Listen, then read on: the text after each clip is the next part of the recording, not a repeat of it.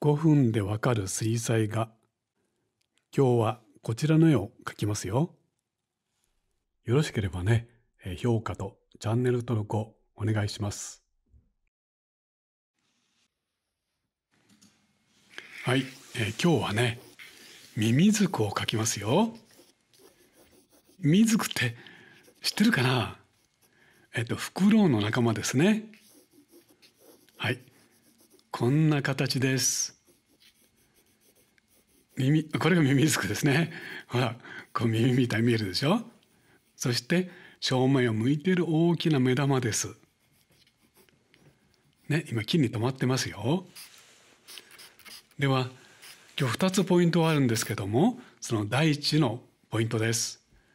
まず紙を濡らして絵の具をにじませます。こうやって。ねそしてねこのにじみの効果で柔らかなこのミミズク、まあ、鳥のねこの羽の質感を表現しましょう。ねこうやってほらどんどんにじませていきます。ねちょっとにじみすぎるかなっていうぐらいでいいですよ。ね、柔らかなほらふわっとした羽の感じが見えてきたでしょ？はい。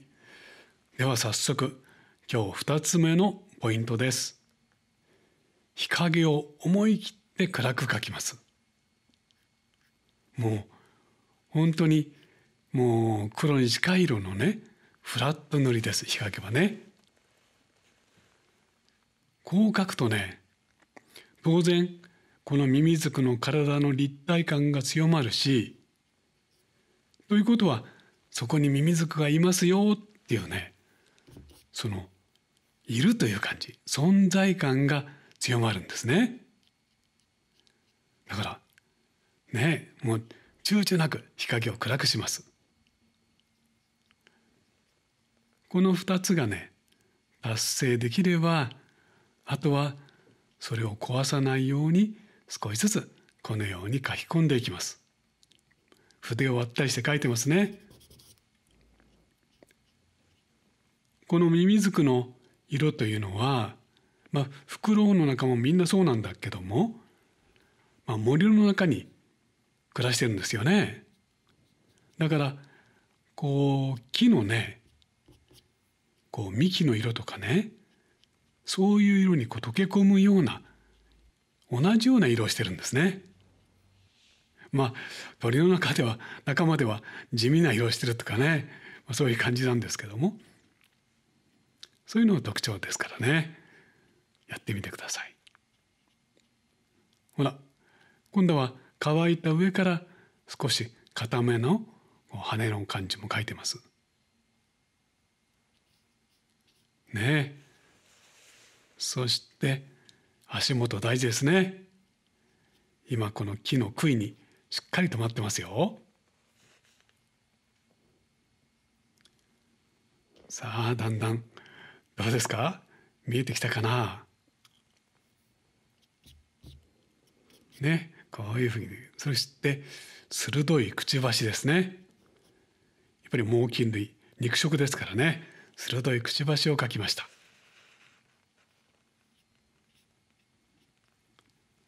さあそこまで来ると次核もありますね。この猛禽類っていうのはねこの爪が鋭いんですね。足でグッというものを掴んだりしますのでその鋭いかぎ爪の、ね、足先も忘れずに描きます。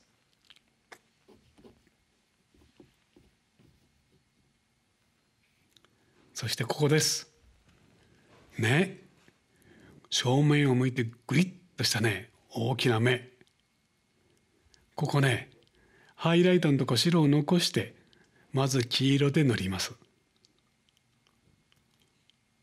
さあこの目の描き方一つでねこの命がどのくらい宿って見えるかがもう勝負になりますのでね。しっかり描いてあげましょう。さあこっち見ましたよ。どう？このミミズクさんがこっちに睨んでるでしょ？ねえ目力がありますね。さあだいぶできてきたのであと少しずつ調整して。ですね。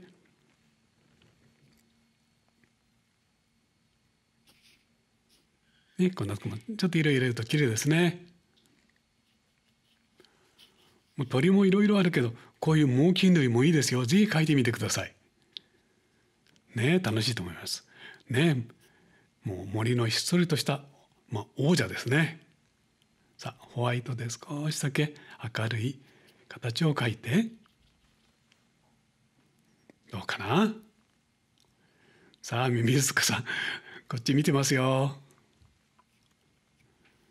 はいじゃあ周りをきれいにしてね。ミミズクさんの登場です。はい出来上がりです。はい、えー、書き上がりましたよ、えー、今回は5分でわかる、えー、水彩画シリーズの中からミミズク ミミズクですね。書きました。面白かった？ねえ。えー鳥ってなかなかないでしょ。でも、よく考えると、もう身の回りに、ねえ、鳥はたくさんいる、ね、いるんですよね。えミミズクってのは、袋もそうですけど、面白いのね、目が前についていて、グリグリっとしててね、とっても可愛らしいです、えー、姿ですね。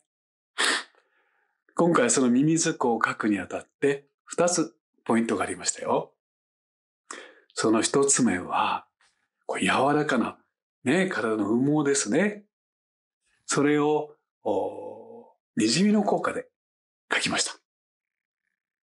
そしてもう一つはね、日陰を思いっきり暗くするということでした。ねこれによって鳥らしい柔らかな羽と、そして、えー、暗い日陰のとのコントラストでね、そこにいるっていう感じが強く表現できます。ね。なかなかにじみってね、えー、難しいでしょ？でもこれは水彩画の楽しいとこだから。ね。よかった。調整してみてくださいね。はい。えー、ところで、えー、柴崎はチャンネルメンバーシップを開設しています。えー、入会していただくとね、えー、様々な特典があります。えー、絵作りの秘密をね、あなたにだけこっそり教えますよとかですね、えー、メンバー限定のライブ配信これも楽しいですよ。その都度柴崎がねいろいろな例を引き出してこうやったら絵はねうまくなるよとかねこういう方法があるよとかねお話ししますし。ね。えー、まあその他たくさんね、えー、楽しい特典用意しておりますので是非あなたもね入会してください。心からお待ちしてます。ということで今回は5分でわかる。ね。水彩画シリーズの中からミミズクを書いてみました、えー、最後までねご覧くださって本当にありがとうございました。また次回もあなたと一緒に水彩画を楽しんでみたいと思います。それではまたね。